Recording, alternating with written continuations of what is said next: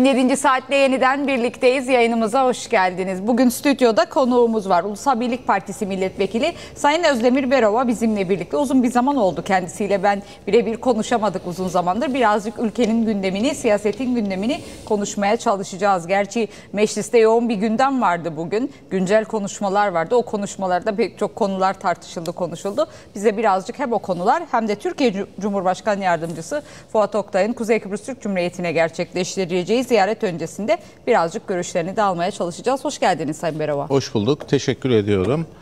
Ee, bizi izleyenlere de sevgi ve saygılarımı iletiyorum. Birazcık yorgun gözüküyorsunuz. Evet, e, bugün daha doğrusu bu haftalar gerçekten yorucu ve yoğun geçen e, haftalar. E, meclis çalışmaları adına pek çok yasa tasarısının artık sonuna gelindi komitelere. Komitelerde bunlar e, konuşuluyor. İşte en son dün biliyorsun öğrenci affıyla Evet. ilgili e, yasayı da e, geçirdik.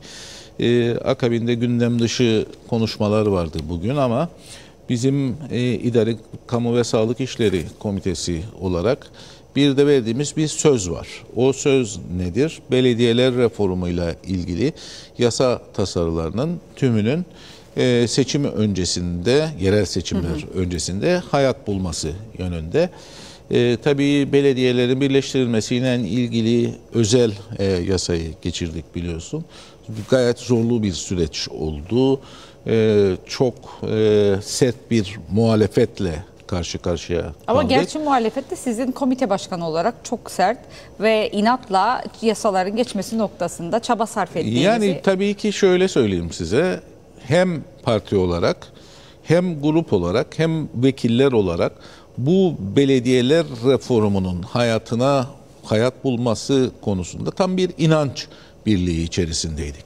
Ve hedefe giden yolda hedefe ulaşmak e, adına bazı zamanlarda sertleşmek, bazı zamanlarda ketumlaşmak ve bazı zamanlarda da yumuşama göstermek gereklilikti. Bunu yaptık ve bunu yapmakla birlikte de e, belediyelerin birleştirilmesiyle ilgili özel yasayı da hayat buldurduk. Yoksa bu tutumumuz olmasaydı bu yasa tasarısını yasallaştırıp hayat bulmasını sağlamak e, gerçekten çok zor olacaktı. E, bulduğumuz için ve bu şekilde de belediyeler reformu diye adlandırdığımız reformun yasal bacaklarının en önemli bacağından bir tanesini e, geçirdiğimiz için de grup olarak, parti olarak büyük bir mutluluk duyuyoruz. Aynı zamanda tabii hükümetimiz de aynı e, mutluluğu duyuyor. Ama her zaman söyledik, o gün de söyledik. E, tek başına belediyelerin birleştirilmesiyle ilgili özel yasanın hayat bulması e, kesinlikle belediyeler reformuna giden süreçte yasal bacakların hepsini kapsamayacak. Bunun akabinde en önemli olan e, diğer ikinci bir yasa tasarısı da 5195 sayılı belediyeler değişiklik yasa tasarısıydı.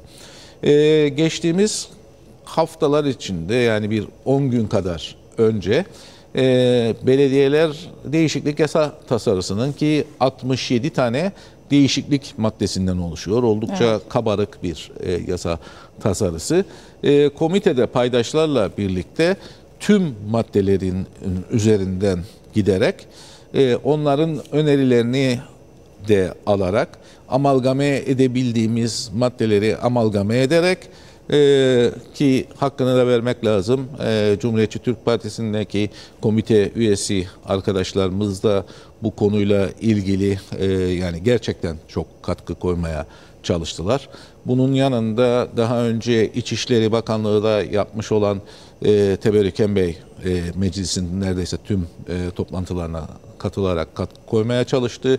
Keza Ayşegül Hanım da öyle. E, bu toplantılarımızın hemen hemen hepsine e, katılarak katkı e, koymaya çalıştı. Erkut Bey de belediyecilikten gelen bir kişi e, olarak o da katkı koymaya çalıştı. Ve bu e, vesile ile bu resmi e, görüşmeleri tamamladıktan sonra e, muhalefetle anlaşabildiğimiz noktalar var, anlaşamadığımız Çok var bazı? Mad- noktalar var. maddelerde? 67 maddenin neredeyse diyebilirim ki yani tam kesin e, rakam vermemekle birlikte 60 maddesinde on, antant bir şekilde yürüyebileceğimiz ortaya çıktı. Ee, şimdi de bu 10 gün içerisinde e, komite üyesi arkadaşlarımla birlikte yine bu konuya ilgi duyan milletvekili arkadaşlarımızla e, birlikte e, bizim resmi komite olarak değil ama komitemizin raportörü, hukukçuları, İçişleri Bakanlığımızın yetkilileri ve milletvekilleri arkadaşlarımızla birlikte bu üzerinden geçtiğimiz 67 maddeyi tekrardan bir okumak e, suretiyle e, hangi noktalarda tam antant kaldığımızı ortaya koyuyoruz. Onları ayırıyoruz ve tam anlaşamadığımız maddelerde uyumlaşabileceğimiz konular varsa onlarla uyumlaşıyoruz. Uyumlaşamadığımız ve siyasi karar üretmemiz gereken konuları da bir köşeye e, koyarak yolumuza devam e, ediyoruz. E, bu vesileyle bir iki böyle daha gayri resmi e, toplantı yaptıktan sonra artık siyaseten karar verebileceğimiz sürece gelebileceğimizi bugünkü toplantıda da hissettik. E, meclisin gündem e, dışı konuşmaları e, yapılmaya başlandıktan sonra biz aşağıya inerek e, komitede bu çalışmamıza devam ettik. Yaklaşık işte 3 saat 4 saatlik bir toplantı e, yaptık. O yüzden böyle biraz yorgun da e, gözüküyorum açıkçası. E, pek çok e, maddede de yine bayağı Yani güzel ilerlemeler. %90 bir ilerleme söz konusu. %90 bir ilerleme söz konusu. İşte tüm bunları tamamladıktan sonra artık bundan sonraki yapacağımız ilk resmi e, toplantıda e, sadece oylama işlemlerini yapabilme Önümüzdeki zorunda. hafta, bu hafta içerisinde- Yani şöyle söyleyeyim. E, hedefimiz 28 Kasım'dan önce 28 Kasım günü pazartesi günü e, Meclis Genel Kurulu var. 28 Kasım pazartesindeki e, bu genel kurula 5195 sayılı belediyeler değişiklik yasa tasarısını getireceğiz. Yani hedefimiz o şekilde olacak. Çünkü 28 e, Kasım pazartesinden sonra 18 Kasım. 28 8 Kasım. Kasım. Yani iki hafta içerisinde. Ee, 29 Kasım tarihinde bütçenin komite görüşmeleri e, başlıyor. Daha sonra aralığın 12-13'ünden sonra biliyorsun yerel seçim sürecine girmiş olacağız ve 25 Aralık'a kadar yerel seçim süreci devam edecek. Ee, 26 Aralık tarihinde pazartesi günü genel kurulu toplantısı yapmayacağız. 27 Aralık tarihinden itibaren de bütçenin meclisteki genel kurul görüşmeleri başlayacak ve ocağın ilk işte ilk 3-4 günü içerisinde bütçe görüşmelerini de tamamlayacağız. Yani Seçim Yasal- yasakları seçim yasakları yasamayla ilgili e, organlarda e, eğer kişiye özgü bir düzenleme yapmıyorsanız ki hiçbir düzenleme yaptığımız bu düzenlemeler kişiye özgü değildir. e, seçim yasakları kapsamına girmiyor yasama e, faaliyetleri. O yüzden yasama faaliyetlerine e, bu şekilde e, devam edeceğiz. Tabii bütçe çok e, önemli. Çünkü meclisin birinci asli görevi esasında ülkenin bütçesini hazırlamak. E, bu ana görevi de ifa ettikten sonra e, işte Ocak sonrası yine rutin yasal çalışmalarımız içerisinde döneceğiz. O yüzden yoğun, sıkışık bir zaman dilimi seçim içerisindeyiz. öncesinde bu yasa geçmiş olacak. Seçim öncesinde bu yasayı yani çok aykırı doğal bir afet olmazsa bu yasayı geçireceğiz. Zaten bu yasanın geçmemesi demek e, söz verdiğimiz o belediyeler reformunu yapamamış olmamız anlamına gelir ki bunu asla kabullenebilecek bir durumda Muhalefetin değiliz. tepki koyma olasılığı olabilir mi? Yani Hayır, gözlemlediğiniz Hayır, hayır olmayacak. Yani onu net olarak e, gözlemleyebiliyorum. E, günün sonunda çok da katkı verdiler. İnşallah oy birliğiyle geçirebileceğimiz bir yasaya dönüştürebiliriz. Ama oy birliğiyle geçiremezsek dahi e, bazı maddelerinde oy çokluğu olabilme ihtimali olmasına e, karşın e, günün sonunda artık genel kurula gelecek şekilde gelecek. Yani belediyelerin birleştirilmesiyle ilişkin özel yaşada yaşadığımız komite sürecinde e, bu 5195 sayılı yasa için yaşamayacağız. Bunu net olarak söyleyebilirim. dolayısıyla hedef aslında oy birliğiyle yasanın geçmesidir Evet, meclisten. evet. Hedefimiz o. Ama yani 28 Kasım'da meclis 28 Kasım'da genel kurulun gündemine getirmeyi planlıyoruz. Çok büyük bir doğal afet falan filan olmazsa. Şimdi bir seçim var. Dolayısıyla komite çalışmalarını aksatma durumu söz konusu mu? Yani 28 Kasım'a kadar zaten e, bu komite çalışmaları diğer komitelerde dahil olmak üzere devam edecek. 28 Kasım sonrası elbette ki bazı komitelerde bir aksama demeyelim ama bir yavaşlama Şimdi olabilir. milletvekilleri sahada olabilir. Ama kesinlikle ve kesinlikle çalışacak olan komitede ekonomi, maliye ve plan komitesi olacak. Çünkü onlar 8 gün boyunca bir maraton çerçevesi içerisinde ülkenin bütçesini tartışacak. Ki biliyorsun bütçe tartışmaları komite safhasında olsa dahi sabahtan e, başlayan bir süreç. Geç saat. Geceye geç saatlere kadar devam eden bir süreç. Hele de hızlı olur. bir süreç olacak zaten. Yani çok da hızlı bir süreç olmayacak esasında. Çünkü 8 gün olarak planlandı. 8 iş günü olarak planlandı. Zaten ortalama normal bütçe görüşmeleri de 8 iş günü olarak yapılıyor ama Evet. geçtiğimiz yıllar içerisinde pandemiye bağlı olarak 3 günde 4 günde bitirdiğimiz bütçe görüşmeleri de oldu. Şimdi esas önemli mecliste de e, yani seçim sonrası e, Ocak ayında meclise gelmesiyle birlikte bütçe. Ocak değil Aralık ayının sonunda gelecek. Yani 27 Aralık'ta başlayacağız. Bu demek oluyor ki yani mecliste seçimin yorgunluğunu ve yoğunluğunu Atmadan. atmadan yani pazar gün seçim olacak. Muhtemelen işte pazar gün gece yarısına kadar e, bir seçim sonuçlarının belirlenmesi. O zaman da alacağımız başarıyla yaşayacağımız o coşku, heyecan ve akabinde pazartesi gününü boş bırakarak salı günü yine sabah açarak gece yarılarına kadar süren bir bütçe görüşmesi maratonu başlayacak. Yani meclis adına oldukça yoğun bir dönem.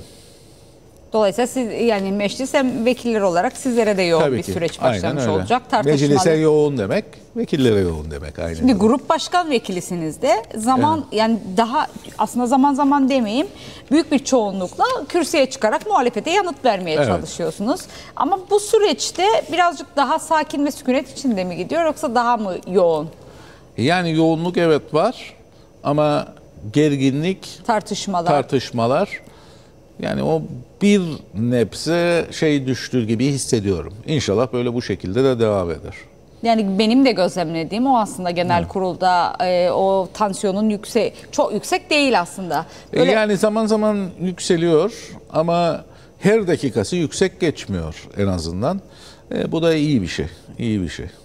Nasıl görüyorsunuz yerel seçimleri? Vatandaşın e, yani seçime yönelik olarak nabzı çünkü artık e, adaylar da Ulusal Birlik Partisi'nin adayları da açıklandı. Diğer partilerin de adayları. Kimi meclis dışındaki partiler ortak hareket etme yönünde kararlar aldı ama genel tabloyu nasıl görüyorsunuz havayı? Vallahi Vatandaş biz- seçimi biz bu- hissediyor bu, mu? ülkenin e, en büyük, en güçlü ve en köklü partisi olarak e, bu yerel seçimlerden de yani bir başarıyla çıkmama olasılığımızı görmüyoruz açıkçası.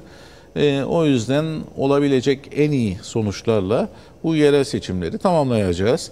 E, tabii yerel seçimlerin etki faktörleri genel seçimlerden daha farklı olarak e, adayların kendi performanslarının da e, bu anlamda e, belli bir e, başarı yüzdesi açısından önem e, haz ediyor.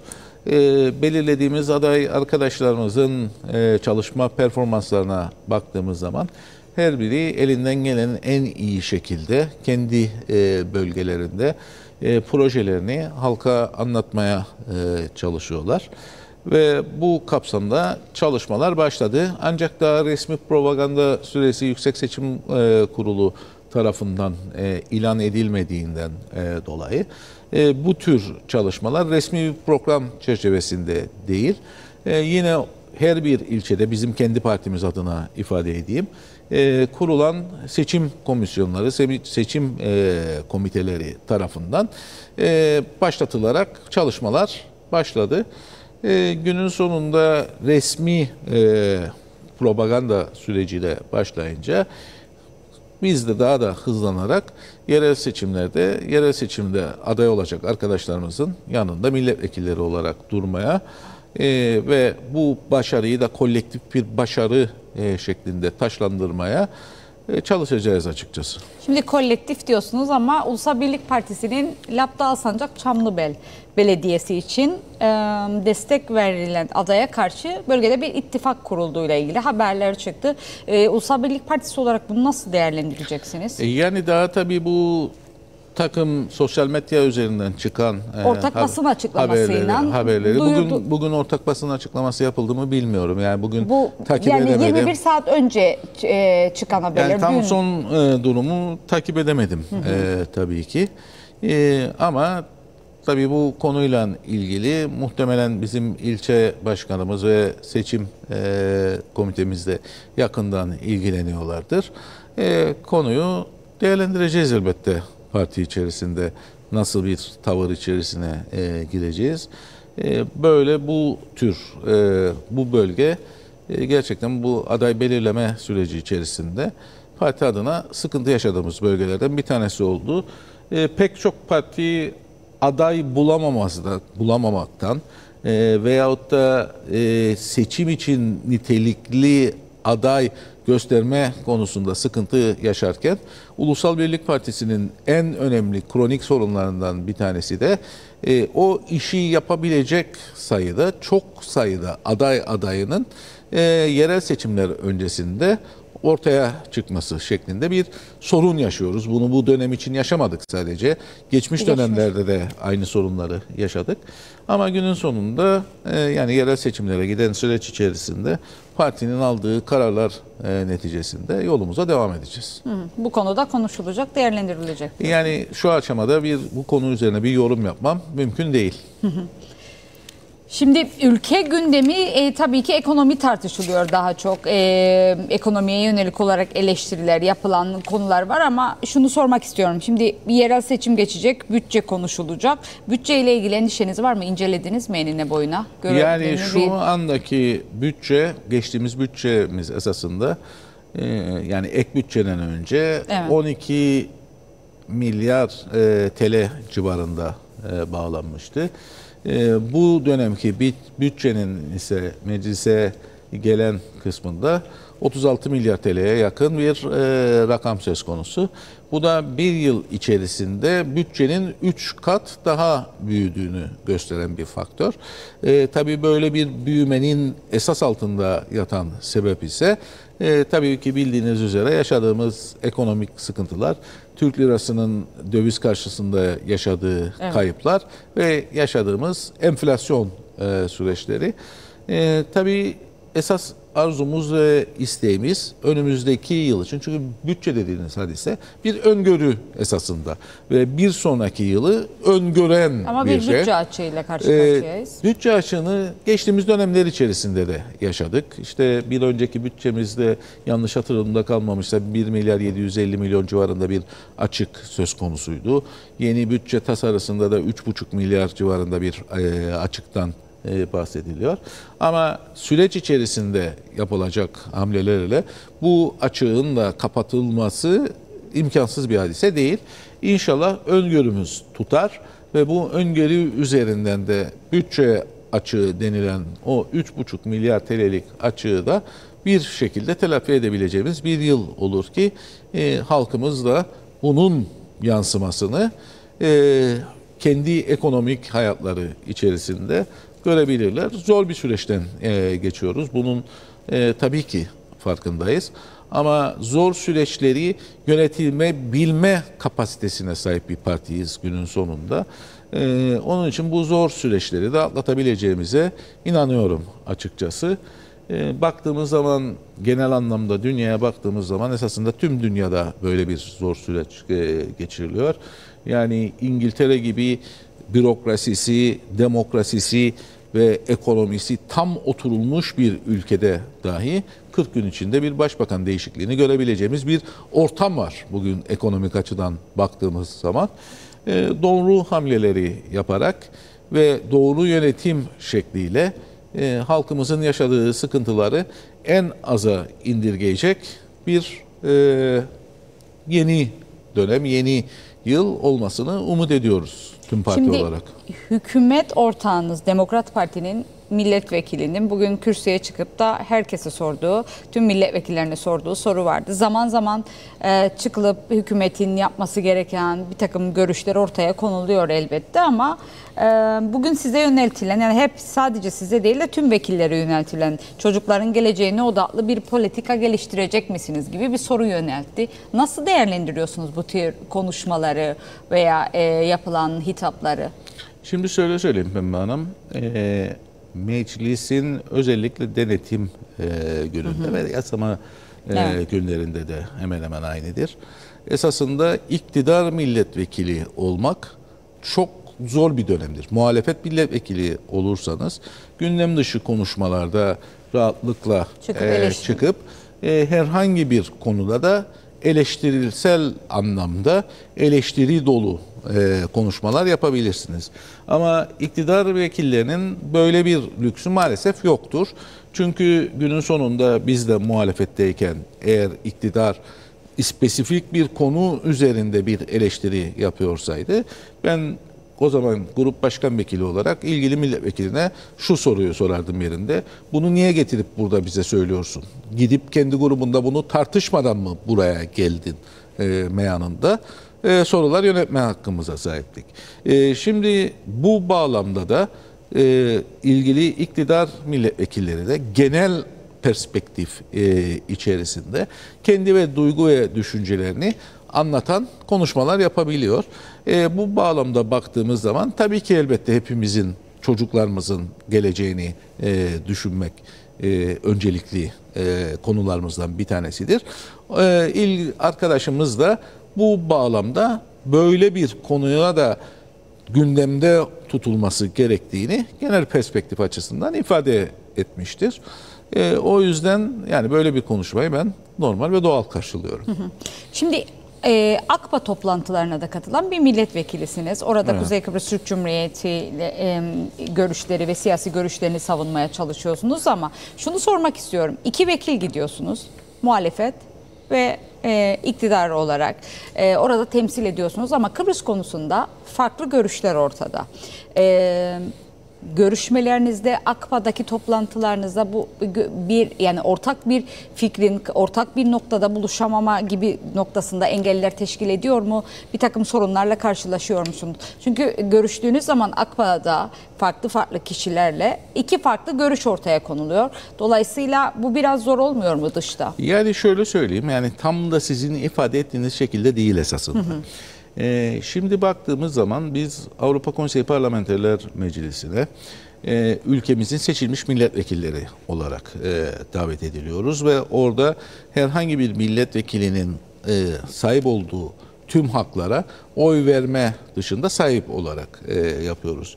E, şimdi bu bağlamda Kıbrıs konusuyla ilgili olan e, konuşmalarda tarihsel perspektif üzerinden e, baktığımız zaman esasında Krans-Montana sürecine kadar olan süreç e, boyunca e, ayrışık bir düşünce tarzımız yok e, muhalefette. E, Krans-Montana sürecinden sonra e, ki bu süreçte artık biz şuna inandık Ulusal Birlik Partisi olarak ve iktidar e, olarak iki bölgeli, iki toplumlu federasyon açısından yapılabilecek olan her şey yapılmıştır ve bu noktadan sonra artık zaten bu konu üzerinde konuşulacak olan başka bir husus da kalmamıştır. E, Avrupa Konseyi'ndeki e, Siyasi ve Demokrasi Komitesi'nde yaptığım ben de konuşmada.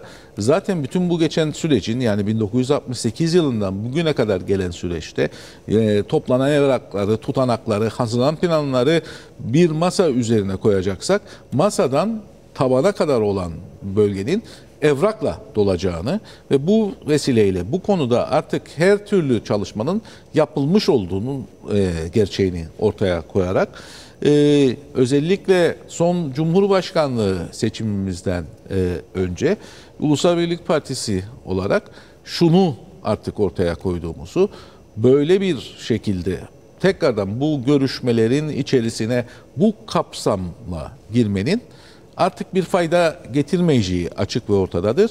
Yeni bir fikir, yeni bir ideal ortaya koymak e, gerekir ve biz de Cumhurbaşkanlığı seçimi öncesinde bu fikirler çerçevesi içerisinde iki konuyu, ana konuyu gündeme getirdiğimizi ifade ettik, ettim. Birincisi eşit egemen, e, e, eşit egemenlik. İkincisi de uluslararası eşit statü. Ve bu bağlamda da bundan sonraki e, süreçte e, işte İngilizce'de a new gate dediğimiz yeni bir kapıyla artık biz bu e, süreçte bundan sonra bu e, minvalde hareket edeceğimizi zaten Cumhurbaşkanlığı e, seçimlerinin de bu sonucu bize onayladığını gösterdiğini e, söylüyorum. E, tabii Cumhuriyetçi Türk Partisi'nin resmi parti görüşü farklı bir görüş olduğundan dolayı.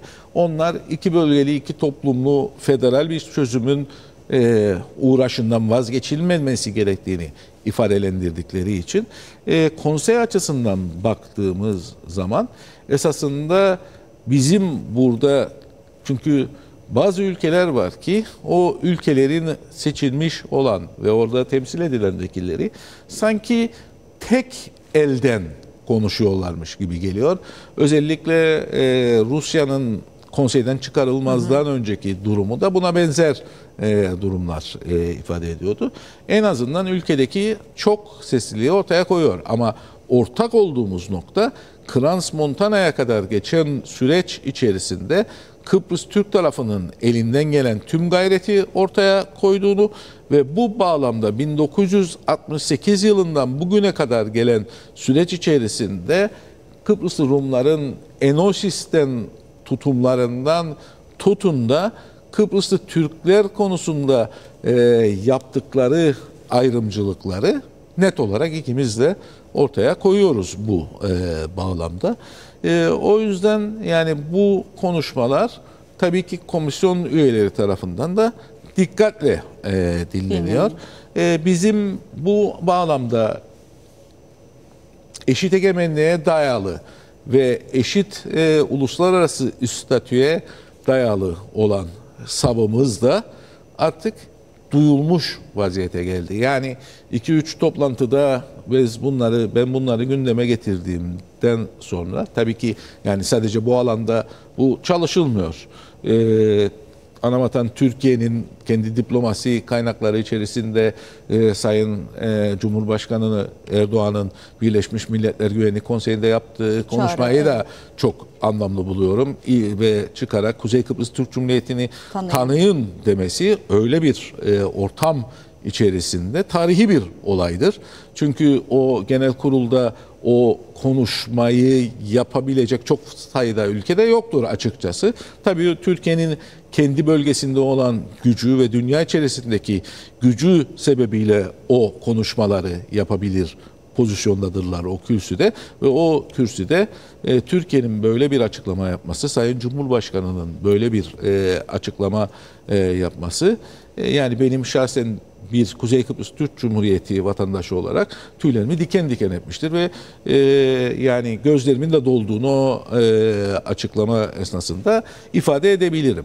Yani, AKPA açısından bakacak olursak da artık insanlar da yani böyle bir sav olduğunu da kulaklarında duyuyorlar. Bunları hissediyorlar. Nasıl bir rapor hazırlayacaksınız? Yani Şimdi ortak... bu, rapor, bu biz rapor hazırlamıyoruz zaten. Meclise rapor sunma noktasında. Ha, rapor rapor sunma konusunda raporu okudum zaten geçtiğimiz gün. Hı hı. Ee, ben kendi ifadelerimi e, yazdık rapora. Ee, Armağan Bey'in ne yaptıysa onu yazdık. Yani orada bugün size anlattığım Anladım. konular çerçevesinde ne ise o rapora birebir işlendi. Hı hı. Yani o, ortak bir rapor olması gerekmiyor günün sonunda. Çünkü farklı, demokrasilerde herkes aynı düşünürse onun adı demokrasi olmaz zaten. Şimdi Sayın Oktay'ın e, yani bu akşam Kuzey Kıbrıs Türk Cumhuriyeti'ne geliyor. Yarın e, birçok e, görüşmesi, açılışlar e, yer alacak ama özellikle ek kaynak ve birçok yatırım noktasıyla ilgili görüşünüzü de almak istiyorum. Sayın Oktay'ın hibe programları, çok sayıda hibe programı detaylı bir şekilde açıklanacağı belirtiliyor ve ülke iki ülke arasında ek protokollere imza konulacak. E, düşünceniz nedir? Yani e, Sayın Başbakan da hep vurguluyor önümüzdeki süreçte yatırımların daha da giderek artacağı e, şeklinde ve bunu daha çok vatandaşın hissedebileceği noktasında vurgusu var. Yani demin de ifade etmeye çalıştım. Zaten bu yılki bütçe Evet. öngörümüzde işte sizin de ifade ettiğiniz gibi 3,5 milyar TL'ye yakın bir açık e, söz konusu ve ekonomik anlamda sıkıntılı bir süreç içerisinden e, geçiyoruz.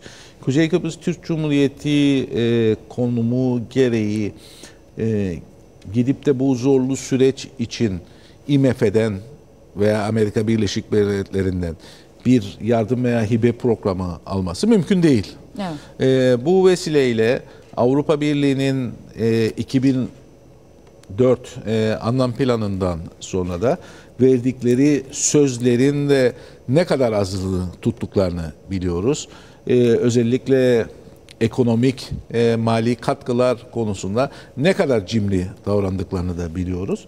O yüzden bu bağlamda bizim e, bize e, can suyu verebilecek, e, bize nefes almamızı sağlayabilecek her zaman bugüne kadar yaptıklarıyla Anavatan Türkiye. Ve Anavatan Türkiye'nin bu tür ekonomik anlamda rahatlatmak için yapacağı kibe programları ve diğer e, programları çok önemsiyoruz e, açıkçası. Tabii detaylarına şu anda e, çok vakıf değilim onu ifade etmek isterim. E, bir nebze de Sayın Fuat Oktay da bunun herhalde bir nevi bir müjde bir sürpriz şeklinde de e, bir e, çalışması var. Tabii Sayın Başbakan'la istişare edilmiştir diye e, düşünüyorum. Ama günün sonunda bu açıklanacak olan paketler e, her neyse ülkenin ekonomisinin rahatlatabilmesi, insanımızın e, refahının artırabilmesi için, nefes alabilmemiz için yapılacak olan programlar ve bu programların da getirdiği o ekonomik döngü içerisinde inşallah e, gelecek yıldaki o bütçede bütçe açığımızı da kapatabilecek ekonomik kazanımları sağlayacak üretimi e, yakalayabilecek başarıya ulaşırız. Şimdi işin mutfağı komiteler aslında. Yasalar, yapılması gereken mevzuatlarda değişiklikler, düzenlemeler. İdari Kamu ve Sağlık İşleri Komitesi olarak e, aslında sizin komitenizde de özellikle önce belediyelerle ilgili ciddi Evet. belediyeler gelmişti ama bundan sonra yapılacak da çok çalışma Tabii vardır. tabii yani benim komite gündemimde şu ana kadar yanılmıyorsam işte 15-16 tane yasa e, tasarısı var. Artı hazırladığınız raporlar var, araştırma raporları. Araştırma raporları farklı bir şey. Ee, o araştırma raporları da tabii ki e, sonlanacak. Ama günün sonunda baktığımız zaman işte yıllardır biriken sıkıntılar e, var. Bu sıkıntılar yasal mevzuat düzeyinde aşılmasını bekleyen konular var. E, bütün bu konuları aşmak için ciddi bir çalışma yapıyoruz bu dönem içerisinde ve yani komite bu bağlamda tüm üyeleriyle birlikte gerekli emeği ve özveriyi kesinlikle gösteriyor bunu net olarak söyleyebiliyorum. Zaten sonuçlarına da bakacak olursak e, çıkarttığımız, ürettiğimiz yasaların e, neredeyse tamamına yakını birkaç yasa hariç örneğin belediyelerin birleştirilmesiyle ilgili özel yasa hariç e, hep oy birliğiyle çıkıyor. E, oy çokluğuyla alan yasalar yine bu il söylediğim yasa bir kenara itecek e, olursak da yani katkılar konmasına rağmen gerekli son noktaya ulaşamadığı için oy çokluğuyla çıkıyor. E, bu çalışma temposundan yani komitem adına çok memnun olduğumu ifade etmek isterim. Ve eğer yani çok değişik bir siyasal ortamın içine girmezsek de e, önümüzdeki e, Temmuz ayına kadar olan yasama dönemi içerisinde daha pek çok e, geçmiş dönemlerde hazırlanmış ama hayat bulmamış yasa tasarılarını yasa olarak e, genel kurula getirip onları oradan onaylatacağımıza yürekten inanıyorum açıkçası. Neden vurgu yaptınız çok değişik siyasal bir ortam yaşanması? E, yer içer bir, bir yerel seçimler yaşayacağız. E, yerel seçimler akabinde bir başka karar verme noktasına geleceğiz. Biliyorsun Sayın Kudret Özersay da e, İstihbarat olacak? Evet. Meclisi'nden ayrılmıştı. Gelecek Haziran ayı içerisinde bir ara seçim yapılacak mı, yapılmayacak mı? Onun e, olacak. E, Lefkoşa'da belediye başkanı milletvekili adayımız var. Seçimi kazanacak Kazanması diye değil. inanıyoruz. Evet. Kazanırsa bir milletvekili Bir- daha azalmış olacak. azalacak. Yani bütün bunları Ama şeyden yani bir ara seçim demek genel seçim gibi aslında. E, Yani işte bütün bunları düşünmek lazım. İşte o düşünme periyodu içerisinde bu söylediğim sözler anlam buluyor.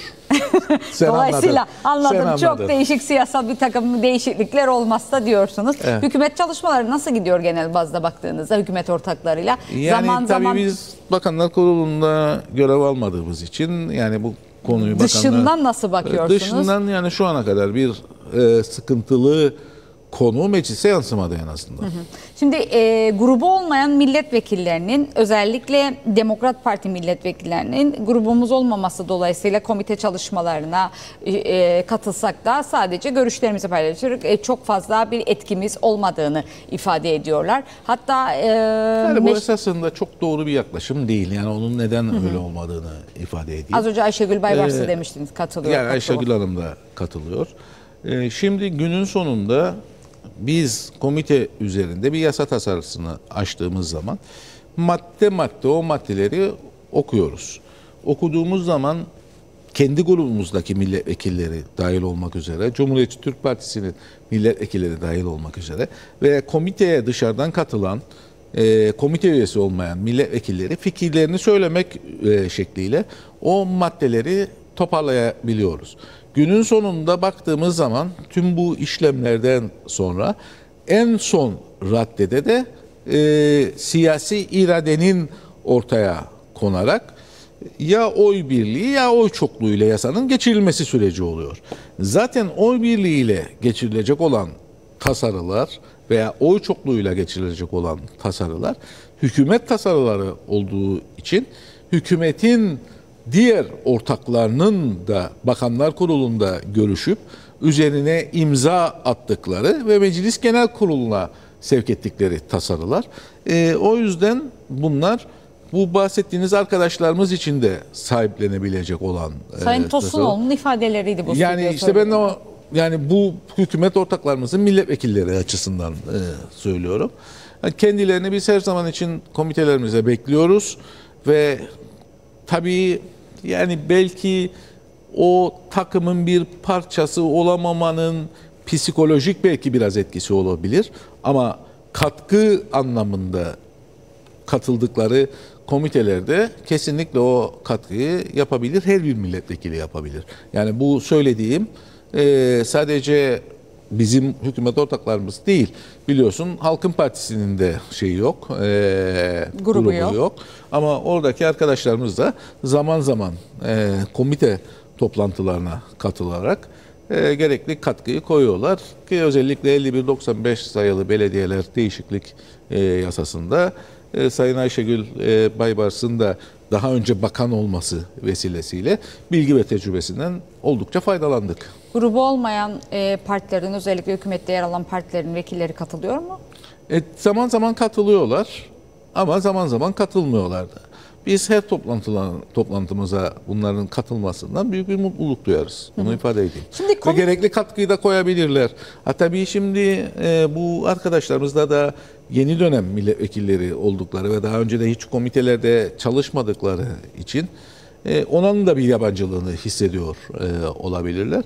Ama şundan emin olabilirler ki yani komitelere katıldıkları zaman verecekleri her türlü katkı değer bulacaktır. Şimdi e, komite çalışmaları yani komite başkanı olarak çalışmalarınızı sürdürüyorsunuz ve yıllardır bir, bir vekil olarak parlamentodasınız. Ama özellikle işin mutfağı komitelerde çalıştığınız ortamla ilgili e, görüşünüzü almak istiyorum. Yani zaman zaman çünkü çok fazla katılımcı oluyor. E, çağırdığınız kişiler oluyor. Birçok e, fazla çok fazla ki özellikle yerel yönetimlerle ilgili görüşmelerde aldınız ama ne kadar yani verimli bir ortamda çalışıyorsunuz diyebilir miyiz? Özellikle neden bunu soruyorum? Çünkü o tartışmalar var, yeni yerleşkenin yapılması noktası ama işin mutfağında olan sizsiniz. Sizin gibi diğer vekiller de ve zaman zaman da mekan ve yer konusunda da sıkıntı yaşıyorsunuz bildiğim kadarıyla. Evet tabii yani devletin kamu kurumu kuruluşlarının binaları pek çok binası yetersiz halde kaldı. E, meclis binası da elbette ki bunlara bir örnek. Hatta şöyle bir şey e, anlatayım size. E, geçtiğimiz günlerde Sayın İçişleri Bakanımız, Sayın Başbakan'la yeni cezaevinin e, açılımın sebebiyle bir basın toplantısı Evet. orada düzenlediler.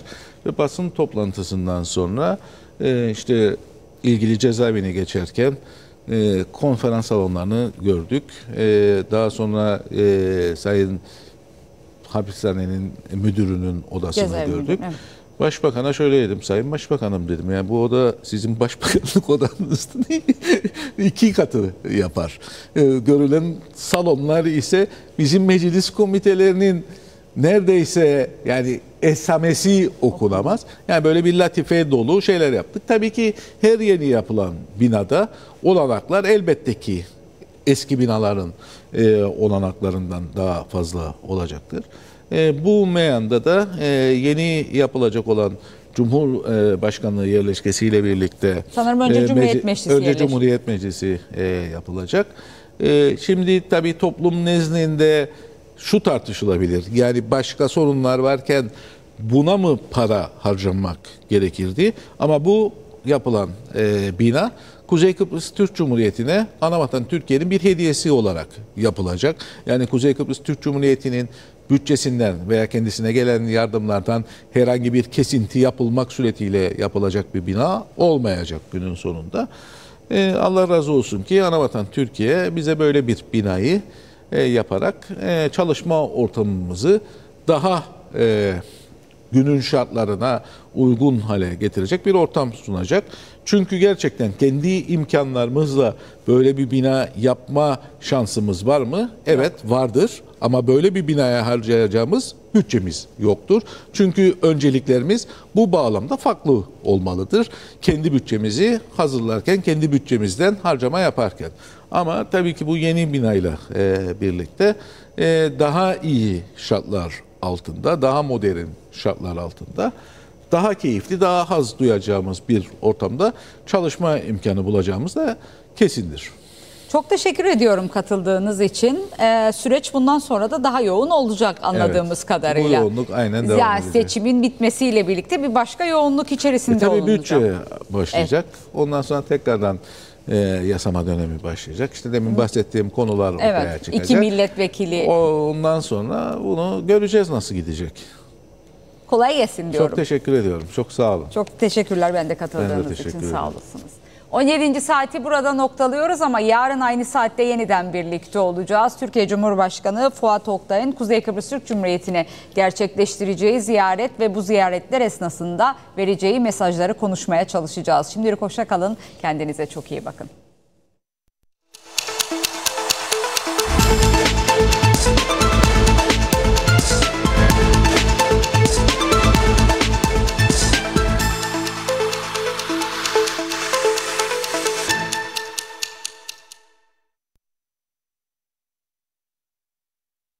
kamu reformu neden gerekli? Koordinasyon Üst Kurulu'nun ülke için önemi nedir? Kuzey Kıbrıs Tenis Federasyonu Başkanı ve Kıbrıs Türk Ticaret Odası Meclis Üyesi Hasan Gazioğlu ticari açıdana konuk oluyor. Gizem Davulcu ile ticari açıdan Salı 20'de BRT 1'de.